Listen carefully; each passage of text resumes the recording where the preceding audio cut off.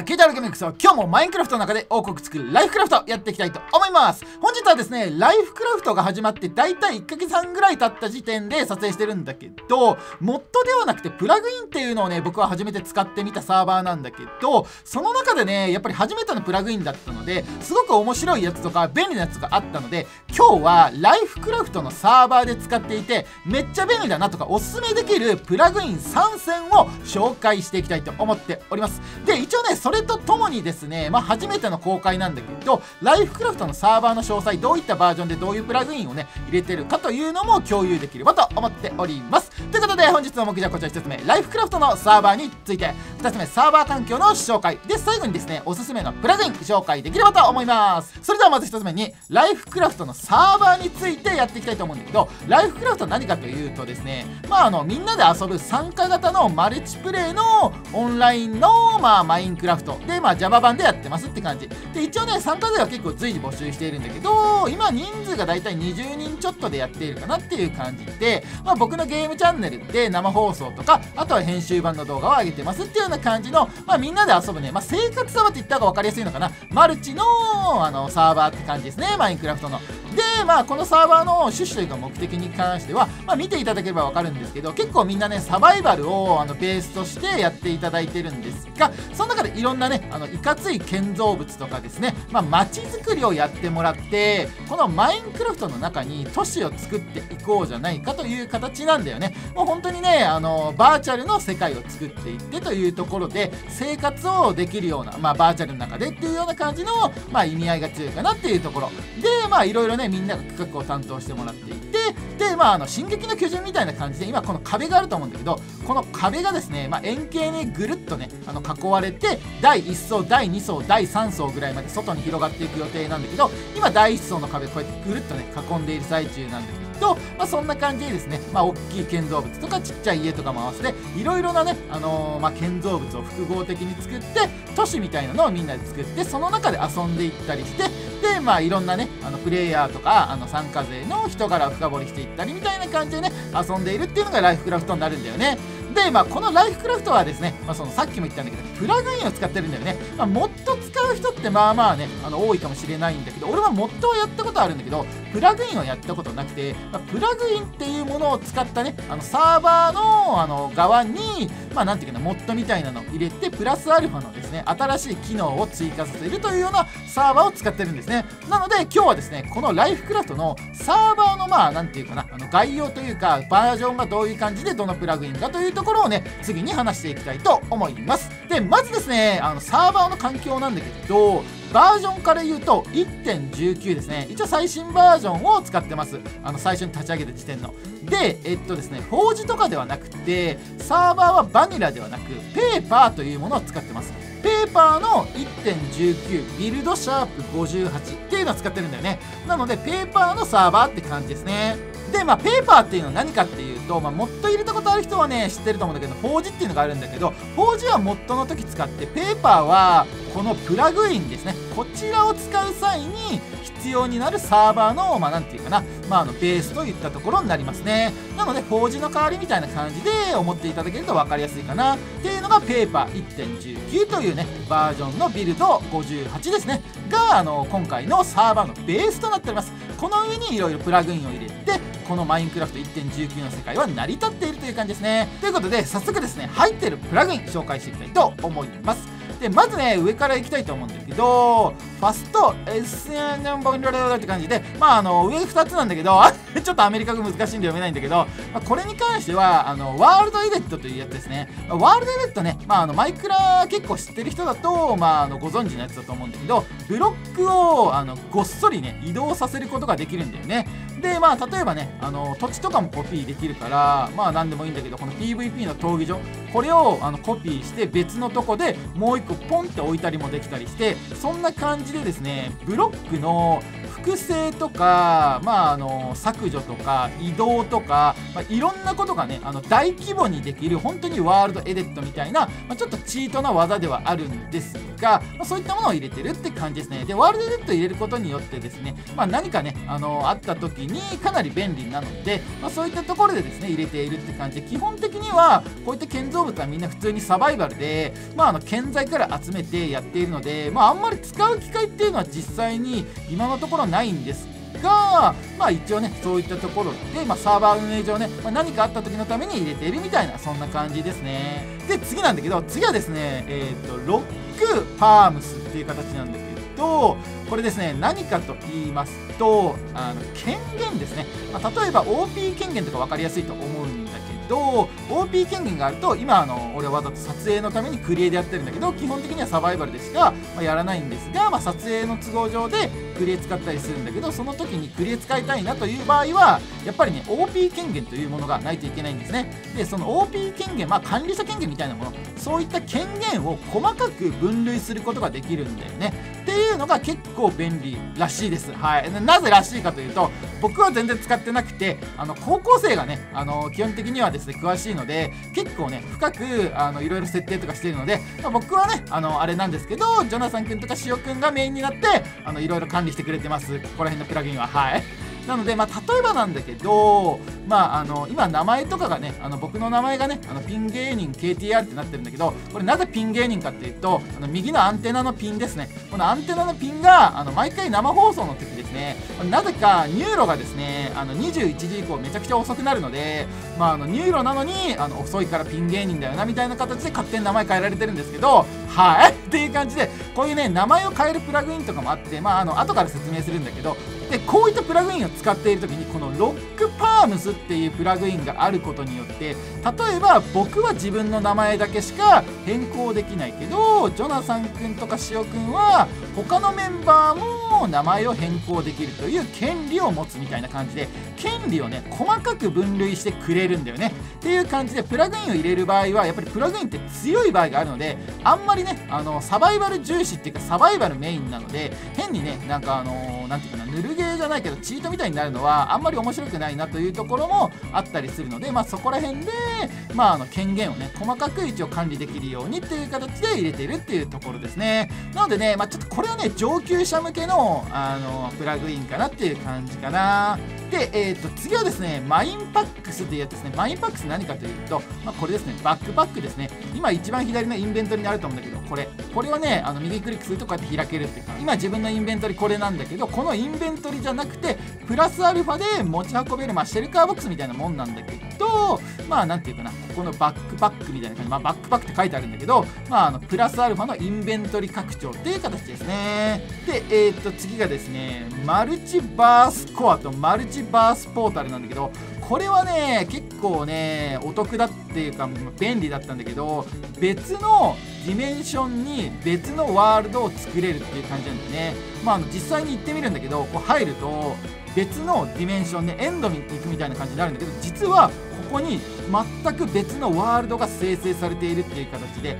まあ、こんな感じでですねあのワールドの中に別のワールドを作れるというようなところでかなりねあの面白い作りになっていて、まあ、これによって結構ね資源サバとか便利なものが作れるよねっていう感じになってますね。でえー、っとですね次がですねニックネームスっていう形ですね。でニックネームスは何かというとですねまあさっきのあの言っていた名前を変えるプラグインですね。例えば僕のこのピン芸人 KTR っていうのはもちろん僕の MCID じゃないです。こんな恥ずかしい MCID に僕はしません。はい。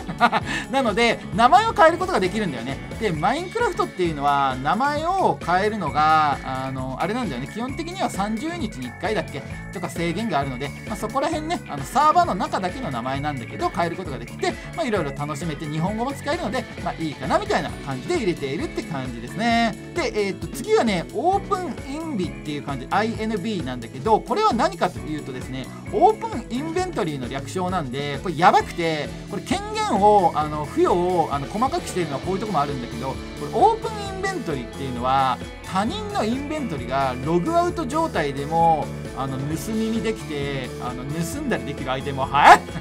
なのでこれはちょっとねあのやばいやつなんだので OP 権持ってる人とかあの限られた人にしか権限付与されてないんだけどまあ一応ですねあの本当に何かあった際これ決して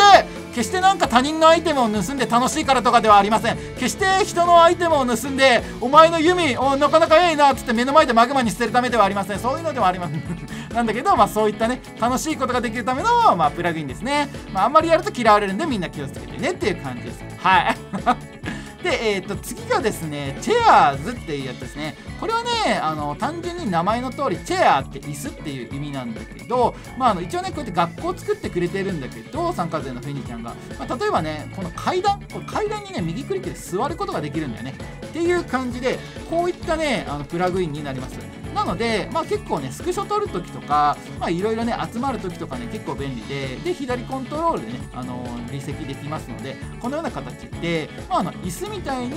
階段に座ることができるっていう感じなので、まあ、こういったところがねあのいい感じの、まあ、プラグインなんじゃないかなと思いますね、まあ、撮影の時に結構便利かなって感じ生放送とかの時にね。っていうところでこれは入れてるって感じのチェアーズっていう感じですね。で、えー、っと最後にですねプラグマンっていうのがあるんだけどプラグマンは何かと言いますと単純にこの今まで言っていた全部のプラグインのこの一覧をオンオフね好きにできるって感じ、まあ、例えばニックネームのやつをオフにしたりチェアーズっていう椅子のやつをオフにしたりオンにしたりみたいなオンオフですね。スイッチみたいなもんですね。オンオフできるというような形なので結構ねあのこれは、まあ、いざという時に便利かなみたいな競合してなんかバグった時とかにもあのこれとりあえずオフってみようとかでできるのでいいんじゃないかなって思ったりしてますね。という感じでですね今回の、え、プラグインはこれがね一応全部になりますね。ということで最後にですね現在使っているプラグインの中で俺がねめちゃくちゃ良かったねっていう感じのおすすめできるプラグイン紹介できればと思います、まあ、僕はねプラグイン初めてだったので結構ねあの新鮮なのが多かったんだけどその中でもねめっちゃ良かったよねっていうところのね紹介になっております。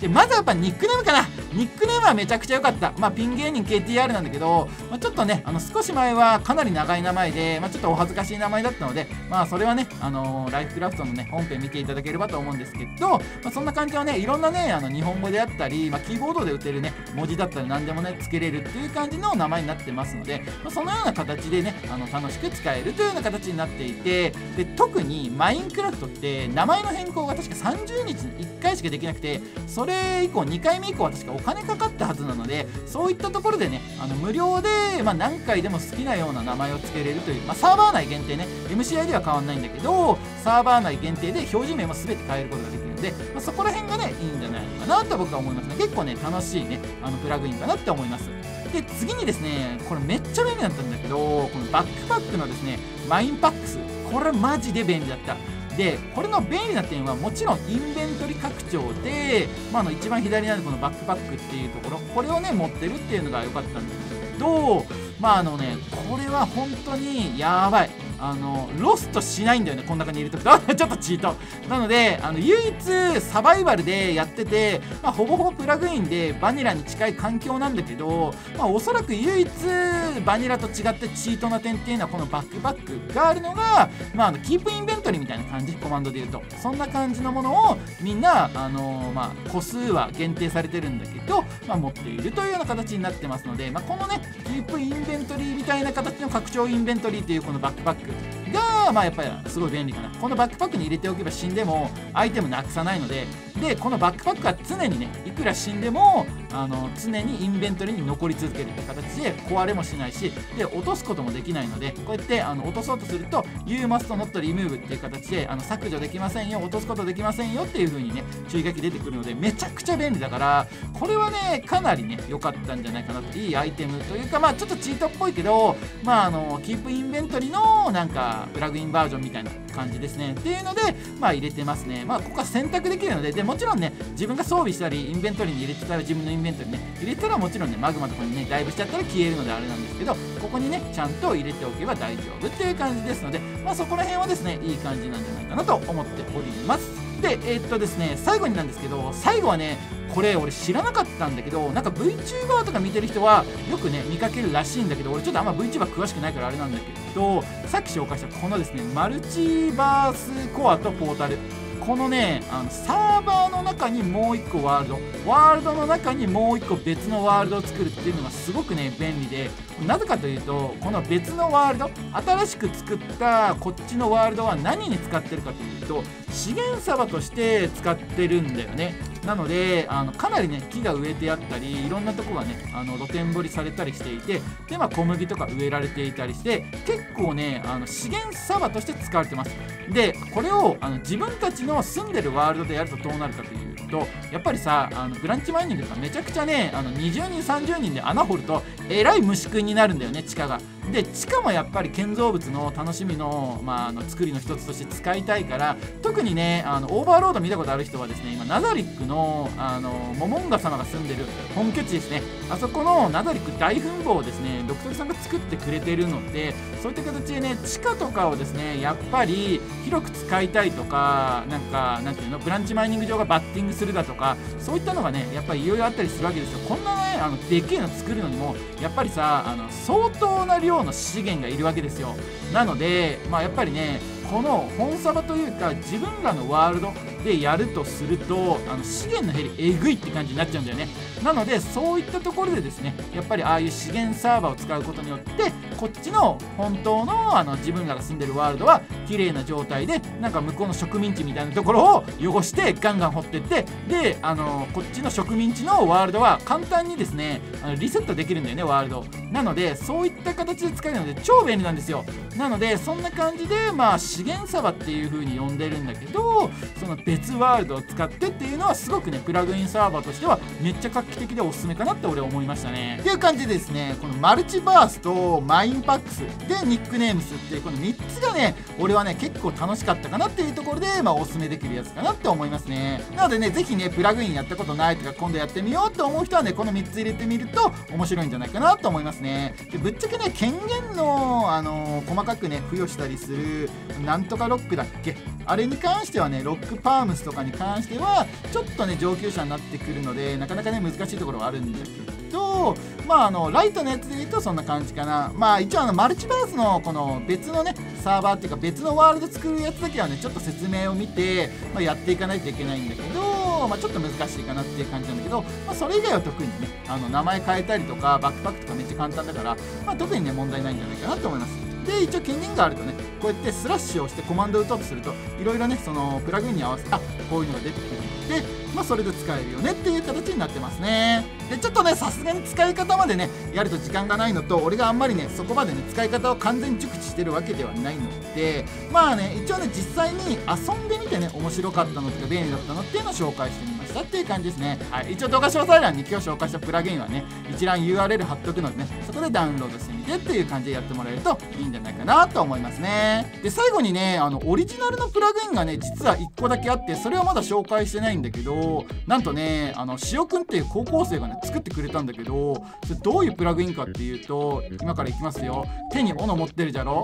プン。なんとアイテムを頭に装備できるっていうねプラグインをね作ってくれたんだよね。なのであの、まあ、何でもいいんだけど、まあ、本とかでもあの頭に装備することができるのでこうやってねいろいろなものを頭に装備してバックパックも頭に装備できたりするんだけどまあこうやって頭にねいろいろ装備して遊ぶっていうことだけなんだけど、まあ、こういうね面白いプラグインとかも作ってくれたりしているので実はねあの作れたりもするらしいので普通の人はね。まああの、まあ、塩くん普通の高校生なので作れるので、まあ、結構ねすごいなと思ったんだけど、まあ、こういった感じでね自作の、まあ、実はねプラグインとかもあったりして、まあ、面白いなっていうところもあるので、まあ、どんどんねプラグインいろいろ遊んでいこうかなっていう形でね一旦ねちょっとライフクラフトが始まってまだ間もないね1ヶ月半ぐらいなんで多分ライフクラフトの歴史的に言うと多分年単位でサーバーをね、まあ、維持していこうと思ってますので序盤のねライフクラフトサーバーのプラグインラグインの紹介と、まあ、おすすめの紹介みたいな感じになっている動画かなと思います。ぜひねみんなのねおすすめのプラグインとかあったら教えていただけると実際にライフクラフト入れるかどうかちょっと考えてみたいなと思いますので